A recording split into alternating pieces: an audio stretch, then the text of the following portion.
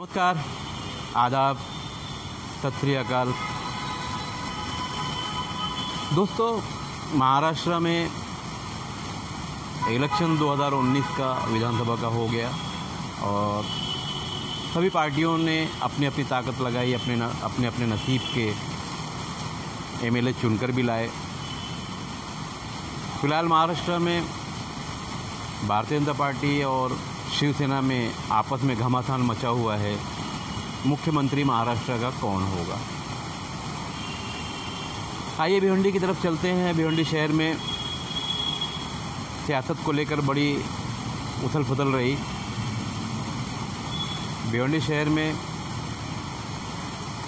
अबू आसिम आदमी ने जो सीट छोड़ी थी और गोवंडी की सीट पकड़ी थी, वो सीट दोबारा 2019 में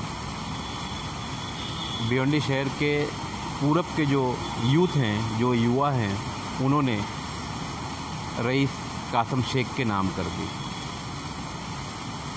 रईस कासम शेख मुंबई के मदनपुरा में, वहाँ से नगर सेवक भी हैं और जो जानकारियाँ हैं, वहाँ गट नेता भी हैं। हालाँकि गट नेता की पुष्टि अभी तक नहीं हुई है, मगर जो जानकारियाँ मेरे पास हैं। बहरहाल, मुंबई में नगर सेवक होना भी बड़ी बात है, और 2019 का जब चुनाव महाराष्ट्र में लगा तो एक बैग अब आसिम आदमी ने इस नाम को सामने किया, और 15 से 20 दिन में चुनावी हमा हमी में, घमाघमी में रईस शेख चुनकर समाजवादी के बैनर तले आ गए। अच्छी बात है, चुनकर आना, नहीं आना नसीब का खेल है। और इसी पट्टे में दो बार शिवसेना से एमएलए रहे रुपेश महात्रे, इनके सामने हार गए और दो नंबर पर आ गए। सभी पार्टियों का अपना अपना परफॉर्मेंस रहा, जो भी रहा अच्छा रहा। एमआईएम ने भी भिवंडी पश्चिम में अच्छी अपनी मेहनत दिखाई। मगर पश्चिम में महेश चौगले दोबारा चुनकर आए, भारतीय जनता पार्टी के बैनर तले। चुनकर आना, नहीं आना, वो सब अलग बात है, मगर आइए भिवंडी शहर की सच्चाई की तरफ़ चलते हैं। भिवंडी शहर की जो सच्चाई है, भिवंडी शहर के रास्ते, भिवंडी शहर में रहने वाले, वो तो देखते ही हैं। भिवंडी शहर से, भिवंडी शहर के आसपास के जो ग्राम पंचायत के इलाके हैं, वहाँ के रास्ते कंक्रीट के बन चुके हैं, मगर भिवंडी शहर में अभी शुरुआत है। आप लोगों ने गाँव को शहर बनते हुए देखा होगा।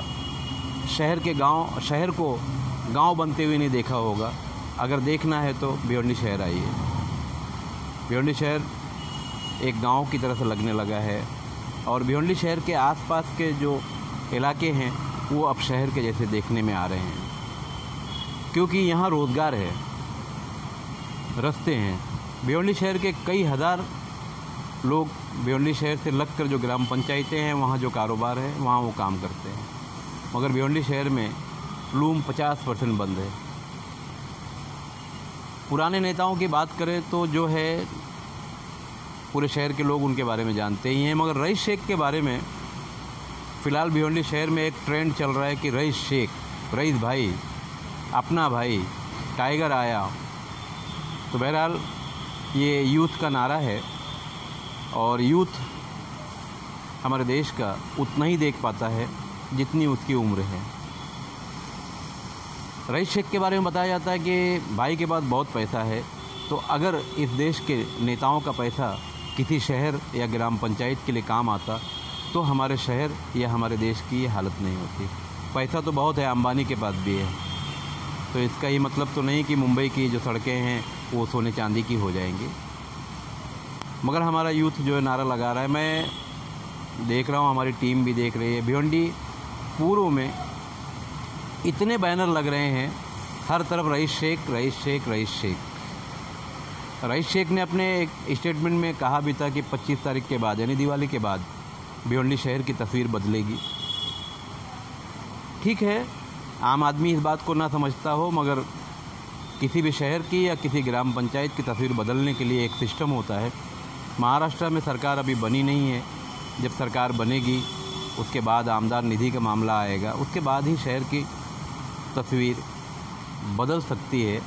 हालाँकि बदलने की कोई उम्मीद नहीं है। क्योंकि मुंबई से भी रईस शेख के बारे में मदनपुरा से जो वीडियोस आ रहे हैं, दो वीडियो मेरे पास भी मौजूद हैं। वहाँ लोग उन्हें चूड़ियाँ और गजरे पेश करने के तैयारी में हैं। कुछ औरतों की ऐसी वीडियो भी आई है। बहरहाल, जो खेल है, ये तो सियासी खेल है और ये कोई नया नहीं है।